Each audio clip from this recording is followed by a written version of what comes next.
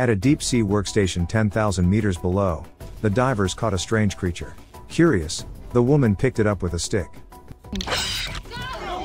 The monster resembles an alien creature with 12 tentacles, each with sharp barbs. Just as the group was considering what name to give it, the base suddenly lost power. They turned on the flashlight, the cabin shaking violently, a huge tentacle kept slapping the cabin. The Cthulhu beast in the deep sea had launched a deadly attack on them. No one knew if they could survive this accident. They are a group of researchers, employed by the Skyworks Group, stationed in the Marianas Trench to help extract oil. Half an hour ago, Nora got up to wash up, she suddenly stumbled and the base shook slightly. Immediately afterwards, a drop of water fell between her fingers and a violent explosion ensued. Nora ran frantically down the hallway, shouting as she ran, trying to wake up her sleeping teammates. But it happened so suddenly that by the time she ran into the safety hatch, only John had followed her in. When they tried to close the hatch, there were survivors at the end of the corridor running hard, with the seawater pouring in behind them and a thousand times the atmospheric pressure.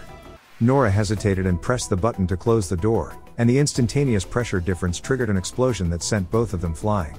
When they woke up, the intelligent voice was broadcasting that the base structure was damaged and would soon collapse. The communication system is damaged, they cannot contact the ground. Nora decided to go to the escape pod.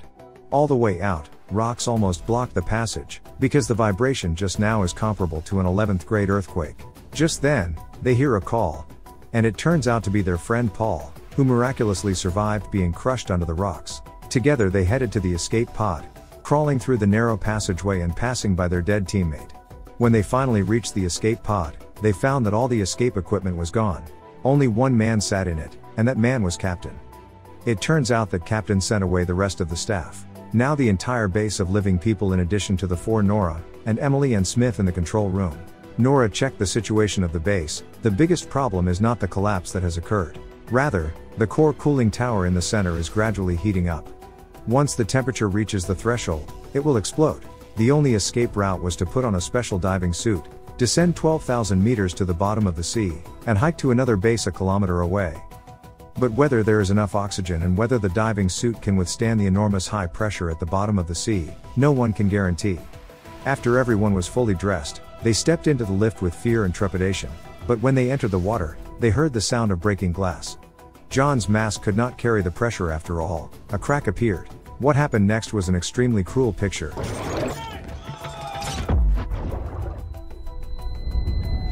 blood and water floating between the crowd. But everyone's eyes were drawn to the darkness before them, because the unknown danger is always more frightening than death. Five people descended to an elevator platform for a temporary rest, but here received a distress signal. Smith took his weapon and went out to check, only to see a bizarre scene. It turned out to be a strange deep sea monster, and when it was found, it was gnawing on the bodies of the workers. Several people were excited to study the monster, but the lights suddenly went out. Captain rushed to open the flashlight, the cabin around the sound of a loud crash. Captain shines his flashlight into the skylight overhead, and the scary unknown creatures make people's heads spin. Worse, the core cooling tower above suddenly exploded at this moment, and the powerful impact made them fall rapidly to the bottom of the sea. Everyone rushed to put on their masks to escape from the cabin. Around the dust, cannot identify the direction, the huge building wreckage kept falling down, the slightest mistake is the end of the world.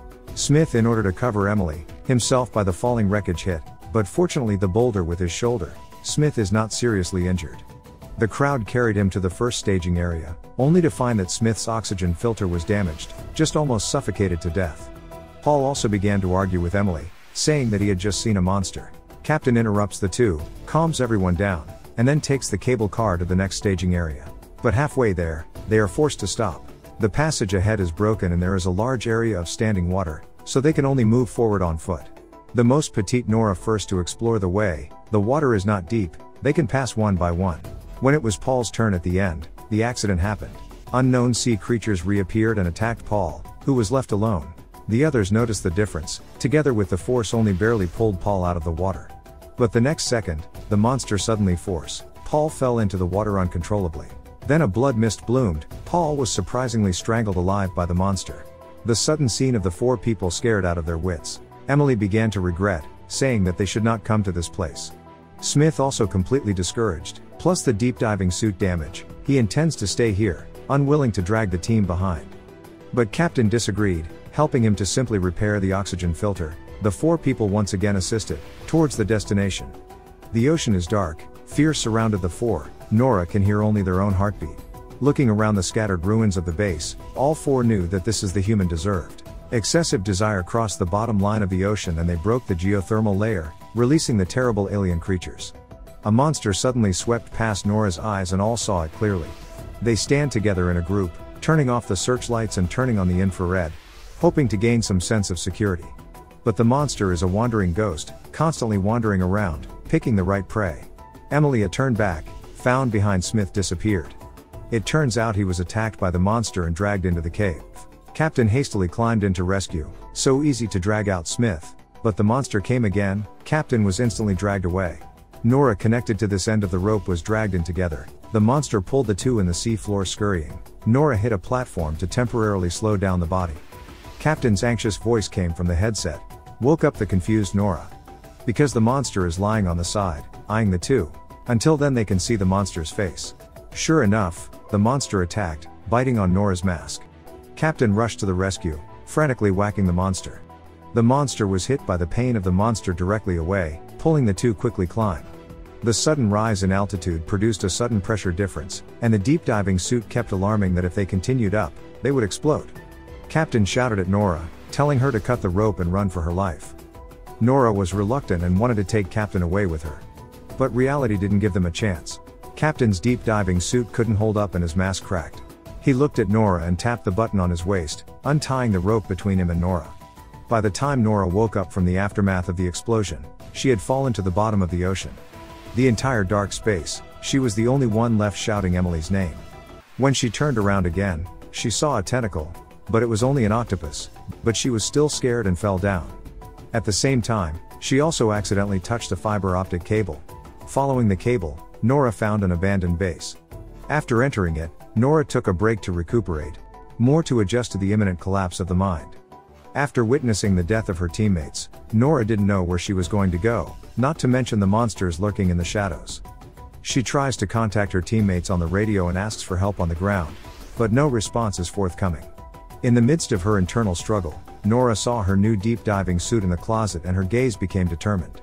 She lifted the items on the table, spread out the map to determine the route, found a flare gun, and re entered the dangerous abyss. Along the way, she talked to herself to cheer herself up. Finally, she heard Emily's voice in her headset, and a dragging trail appeared on the ground. She rushed to catch up with her, saw the long lost light. Nora excitedly rushed forward and Emily hugged together. The reunion through life and death gave the two women renewed motivation. Nora also learned that when she and Captain were dragged away by the monster, Emily had been carrying the unconscious Smith hard towards the destination.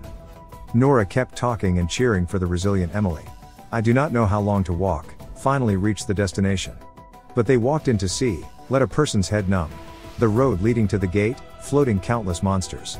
They hovered neatly, as if in hibernation. Nora and the two had no choice but to take the plunge into the monsters. They crept past, afraid to wake up the monsters. But the oxygen alarm of the deep diving suit went off untimely. And a tentacle hit Nora's mask, she did not dare to move, but urged Emily to take Smith away. Finally, the tentacle let go of Nora, it seems to be a false alarm. But the next second, the tentacles grabbed down again, and the giant monster grabbed Nora and shoved it into its mouth. In a panic, Nora pulled out a flare gun, a shot killed the monster, Nora managed to get out. But Nora escaped but found that the monsters had disappeared and were replaced by a huge black shadow overhead. She loaded her flare gun and fired a shot at it, and what appeared scared her to the point of weakness. It was a Cthulhu behemoth, just one head was a hundred meters long. And the slightest wave of its tentacles could cause violent vibrations. Nora was shaken off her feet, unconscious. Emily found her in time, dragged her back to the base, successfully rescued. The three of them supported each other and ran towards the escape pod. They thought they could be saved, but one of the three escape pods was broken. Nora did not hesitate, forcing Emily and Smith into the escape pod, and pressed the start button. Faced with the hope of survival, Nora chose to sacrifice. Watching her teammates leave, Nora crouched despondently in place, waiting to die. But the next second, she was not calm, because she found that the giant Cthulhu released a group of monsters, swimming in the same direction, and their end is exactly the teammates' escape pod. If we don't stop the monsters, our teammates will definitely die. Nora silently walked towards the computer and pressed the self-destruct program for the core cooling zone. With an explosion, Nora and the monsters died together.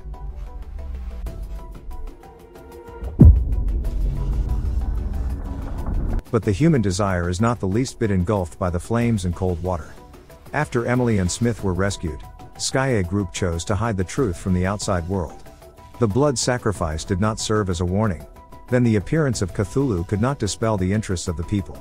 So, is it really the monsters that are scary? I think what monsters are not as scary as the human heart. Like don't forget to like attention forward collection. Bye bye.